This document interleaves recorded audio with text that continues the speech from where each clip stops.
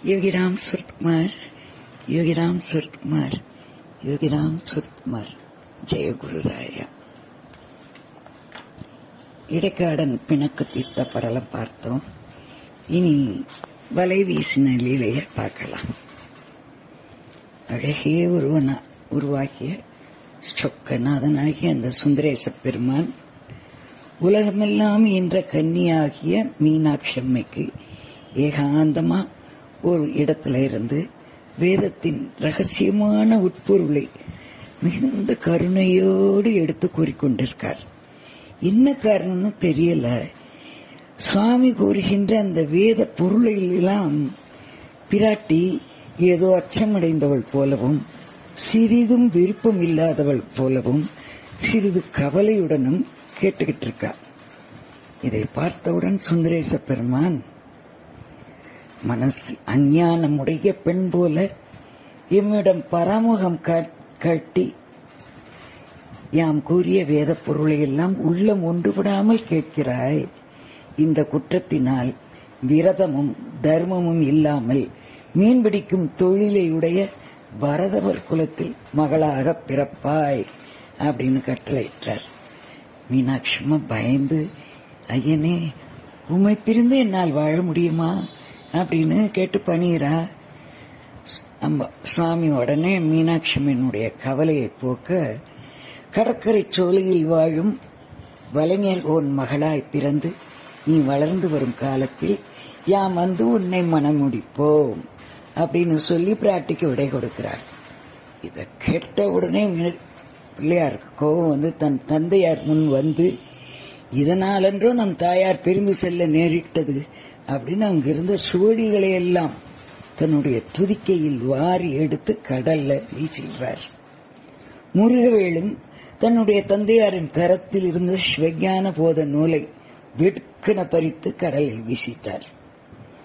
இதை பார்த்த உடனே சுந்தரேச பெருமான் நந்தி தேவரை கோபித்து ஏகாந்தமாய் நாங்கள் இருவரும் இருப்பதை அறிந்தும் இவர்களை உள்ளே அனுப்பி நீ குற்றம் இழைத்து விட்டாய். இந்த குற்றத்தினால் நீ ஒரு சுறாமீனாக மாறி கடலில் புகுந்து உழலக் கடவாய் அப்படின்னு சபிச்சிடுறார் பிள்ளையாருக்கு சாபமிட்டால் அது சுவாமியவே சேருமா? அதனால பிள்ளையாரை சபிக்காது. முருகப்பெருமானை வணிகர் குலத்தில் ஊமையாக பிறக்க கடவாய் அப்படின்னு சபிச்சிடுறார் இங்கே பாண்டிய நாட்டின் கிழக்கு கடற்கரையில் உப்பங்கழிகளாலும் தாழம் புதர்களாலும் சூழப்பட்ட ஒரு அழகான பட்டினப்பாக்கம் இருக்கு. அங்கு மீன்பிடி தொழில் செய்யும் பரதவர்கள் வசிச்சு வர்றாங்க.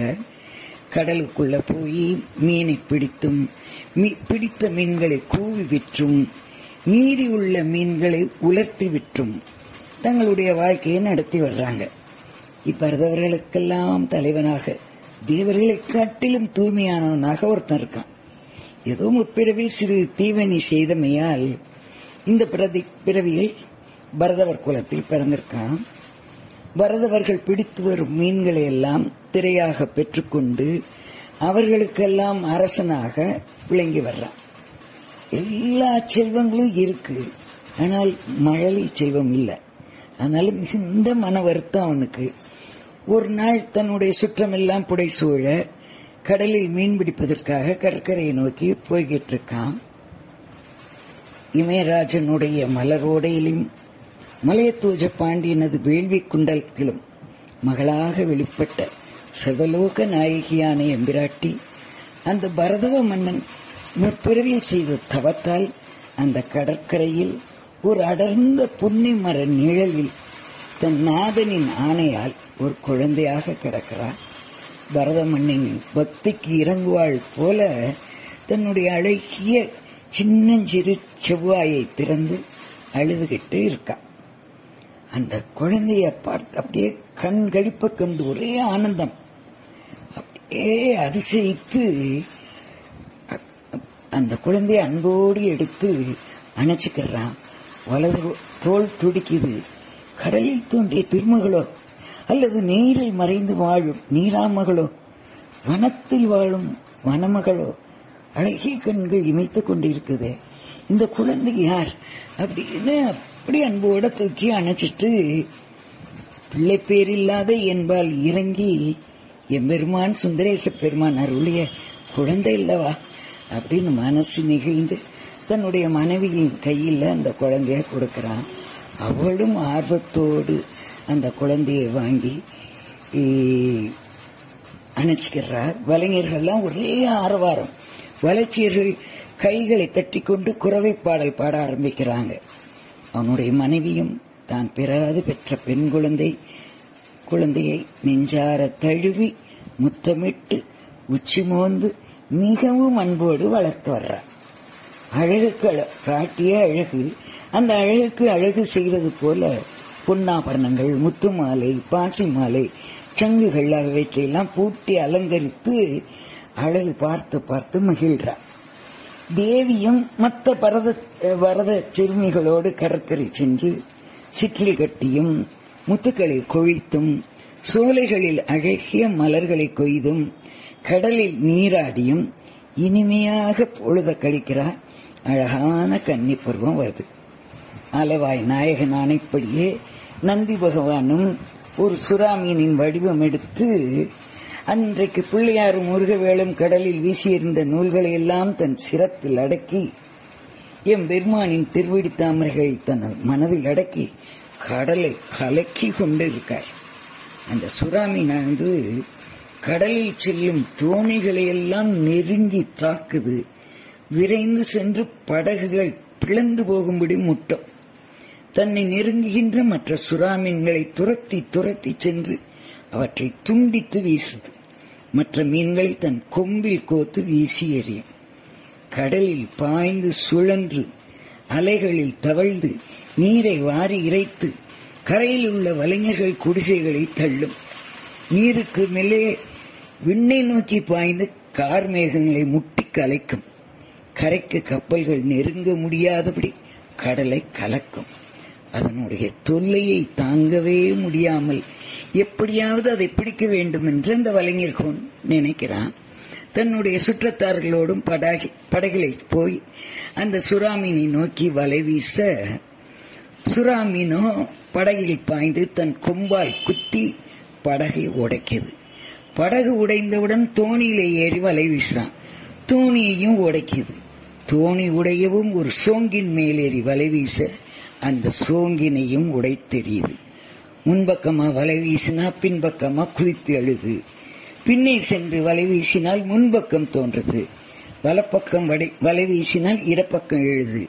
இடது பக்கம் வலை வீசினால் வலது பக்கம் எழும். வலையில் அகப்படும்.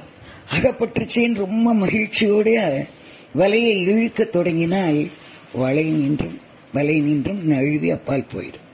இவ்வாறு அந்த பரதவர்கோனும் தன் ஏவல் ஆட்களோடு பல நாட்கள் பல முறை முயன்றும் அந்த சுறாமீனை பிடிக்க முடியல.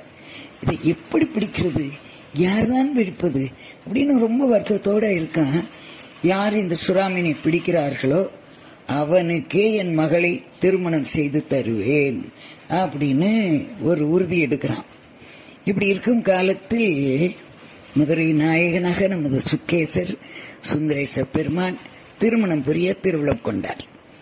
உயர்ந்த ஜாதிய ஜாதிக்காரங்களையும் தம்மை விட தாழ்வாக கருதும் குணமுடைய அந்த வலைகள் வலைஞர்களுடைய குலமகளை மனம் புரிவதற்கு தானும் அவர்கள் விரும்பும் வண்ணமாக ஒரு வலைஞனாக உருவெடுத்து வர்றார் இடுப்புல கருநிற கச்சை அதில் உள உடை வாளை கட்டி தொங்க விடுறார்.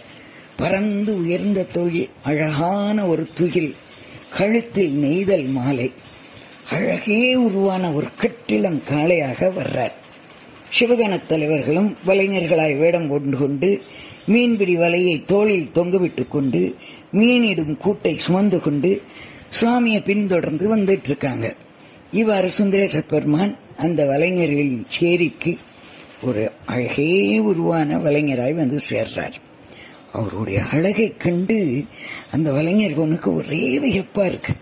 அழகான நம்பியே நீ யாரப்பா அப்படின்னு கேக்குறான். மறைகளும் அறிய முடியா- முடியாத இந்த மதுரை நாயகன் சொல்றார் மதுரை எம்பதியில் வலைஞர்களுக்கெல்லாம் தந்தை போல் மேம்பட்ட ஒரு ஒப்பற்ற வலைஞனுடைய நல்ல புதல்வன் நான்.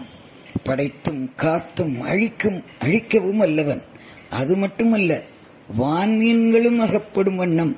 வலை வீசவும் வல்லவனாவேன் அப்படின்னு சொல்றார்.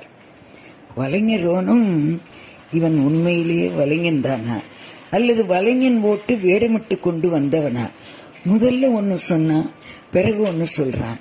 இவனை சோதித்து பார்த்து விடுவோம் அப்படின்னு நினைச்சு அப்பனே இந்த கடல் துறையை சுறாமீன் ஒன்று மிகுந்த கோபத்தோடு கலக்கிக்கிட்டு இருக்கு அதை நீ மட்டும் பிடித்து விட்டாயானால் என்னுடைய மகளை உனக்கு மனம் செய்து தருவேன் அப்படின்னு சொல்றான்.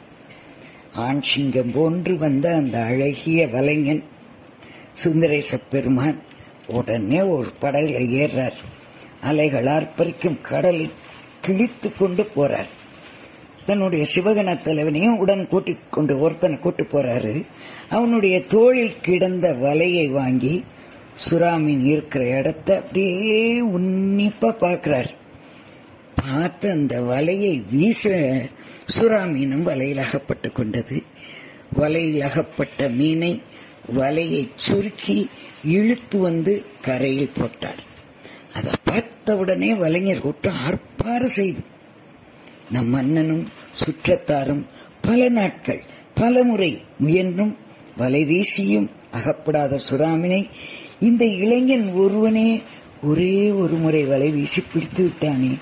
இவனே நன் குலத்திற்கேற்ற தெய்வ மகனாவான் அப்படின்னு சொல்லி ஒரே ஆரவாரம். நெய்தல் நில தலைவனும் ரொம்ப சந்தோஷம் அடைந்து பறைகளெல்லாம் ஒலிக்க பெண்கள் குறவை கூத்தாட பரதவராய் வந்த பரம்பொருளுக்கு தன்னுடைய அழகிய மகளை திருமணம் செய்து கொடுத்தான். திருமண கோலம் கொண்டவுடனே எம்பெருமானும் பிராட்டியும் ஆகாயத்தில் ரிஷப வாகனத்தில் பரமசிவனும் பார்வதியுமாக காட்சியளிக்கிறாங்க. கடற்கரையில் கிடந்த சுறாமீனும் நந்தி தேவராக தன் பழைய உருவை அடைந்தது. இறைவன் பெருங்கருணையோடு அந்த வலைஞர் பார்க்கிறார். சுவாமியோட அருள் கடாட்சம் பட்டு வலைஞர் ஹோன் தன்னுடைய சிற்றறிவு நீங்கி நல்லறிவு பட்டு இறைவனது திருவடிக்கு விழுந்து வணங்குறான். அறிவில்லாத என்னை காக்கும் பொருட்டு என் குல உருவம் தாங்கி வந்த புண்ணியனே போற்றி. என் அழகிய மகளை மணந்து என் பாசத்தை ஒழித்து ரிஷப வாகனத்தில் காட்சி தந்த கருணை வெள்ளமே போற்றி. அப்படின்னு போற்றி போற்றின்னு பலவாறாக போற்றி துதிக்கிறான். அடியார்கள் உள்ளத்தையே குடியிருக்கும் கோவிலாக கொண்ட சுந்தரேச பெருமான் வலைஞர்களை பார்த்து சொல்றார் பல காலமாக மகப்பேரின்றி வருந்தும் உன் துன்பத்தை கண்டு உமையை உனக்கு மகளாக தந்தோம். அதற்கேற்ப தற்போது அவளை முறைப்படி மணந்து கொண்டோம். நீ இனி இந்த நில உலகில் குபேரனை போன்று பல போகங்களை அனுபவித்து பின் நம் சிவலோகம் அடைவாயாக அப்படின்னு கூறி உமாதேவியாரோடும் நந்தி தேவரோடும் மெய்யன்பர்களோடும் உத்தவர கோஷம் போறார்.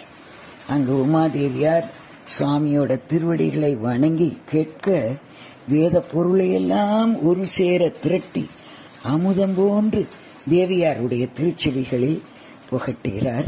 அந்த சமயம் மெய்யன்பர்கள் அறுபதனாயிரம் பேருக்கும் அந்த வேத பொருளை உபதேசித்து பாச தலை நீக்கி பேரானந்த வீடு நல்கி சுந்தரி பெருமான் மீனாட்சி அம்மையையும் அழைத்துக் கொண்டு மதுரை எம்பதி அடைந்தார். ஜெய் யோகிராம் சுரத்குமார்.